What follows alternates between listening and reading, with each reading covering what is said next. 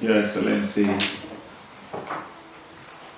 Jonathan, Secretary of Conference, Rachel, District Chair, and all other protocols duly observed. I bring you warm greetings from Ghana and from the Methodist family in Ghana. That is the Methodist Church, Ghana. Our history says about 187 years ago, a young man from Yorkshire traveled all the way to the Gold Coast to bring Methodism to some young, enthusiastic Ghanaians who had heard about Jesus and his saving faith and his saving hand upon people. They asked for Bibles. But this man came not with Bibles only, but with a missionary called Joseph Rhodes Dunwell. 1st January 1835, he landed in Cape Coast. Since then, we have had relationship and partnership with the Methodist Church in Britain. In 1961, we gained our autonomy to be a conference on our own. The church has grown leaps and bounds. As we speak now, we can count off a membership of about a million in Ghana and other parts of the world.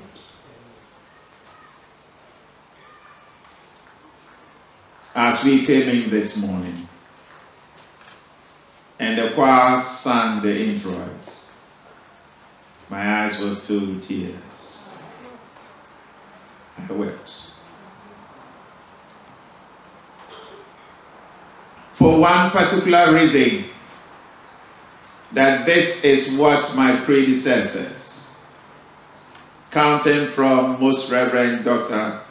Samuel Asante wanted in the 1980s, leading to the formation of the Ghana Ghanaian Methodist Fellowship, meeting intermittently here in the UK, for which we could not, as a church, form our own and bring our own together to worship as we found this afternoon. This is what my predecessors wanted to see, which they never saw, and I am seeing this. I dedicate this day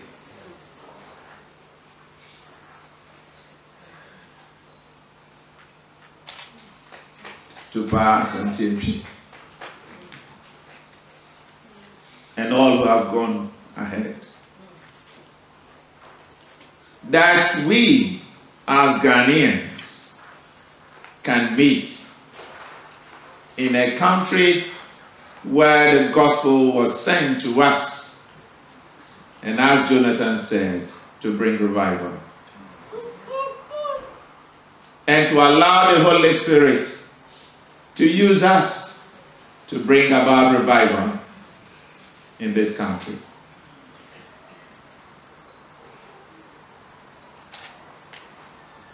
This is the first of its kind. Yesterday I told the congregation here, Ghana will always see you as our Cape Coast.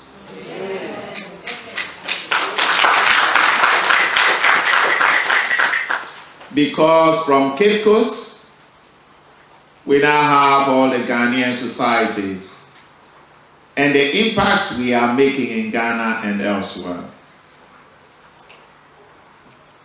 And so for us, we say thank you to the Methodist Church in Britain and for coming with us this far and for allowing this to begin this is only the beginning.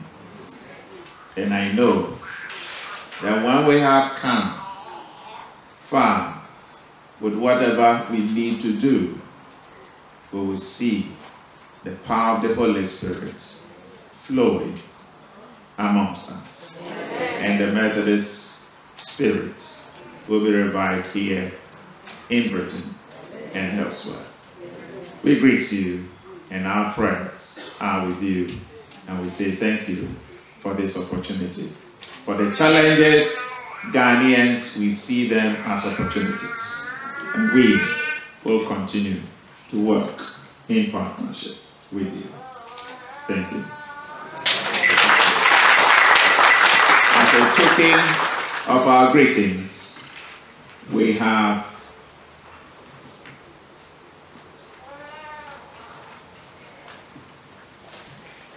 His Excellency is here. So ask him to join me. Your Excellency, please. And let me also mention that he's not only here as His Excellency, as the Ghana High Commissioner, he is a true and true Methodist. He is a conference member and he has been a conference member all the years. And so we see him as one of us. And a local preacher, an accredited local preacher.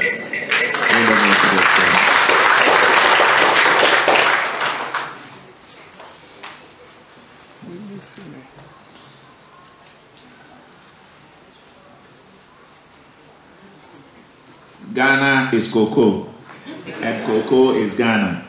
But Ghana is also Kente, and Kente is Ghana. Yes. So I'll call the names, and then His Excellency will just adorn you with it as our gift. So, first we call on the Secretary of Conference, Dr. Jonathan Hustler.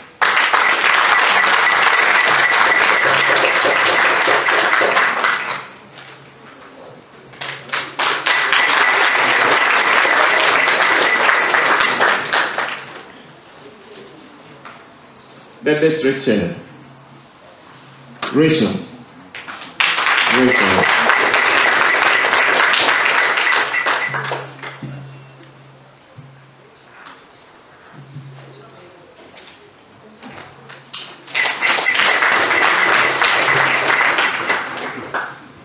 The Ghanaian in white skin, Reverend Stephen Fosin.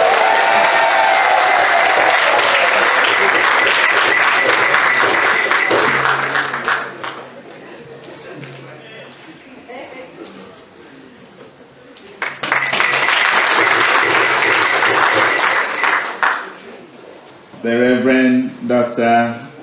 Leo Neto. Leo, we are so grateful. Boss, Bishop.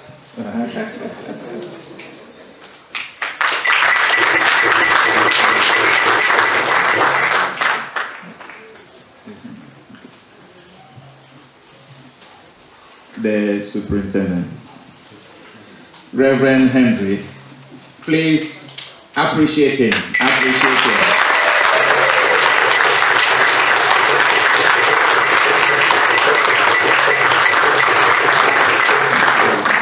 I say that he is the one who caught the vision.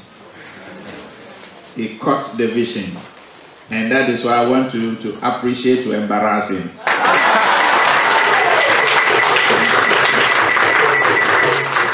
Thank you. And thank you. And I know that the church here will grow to the glory of God. And others will be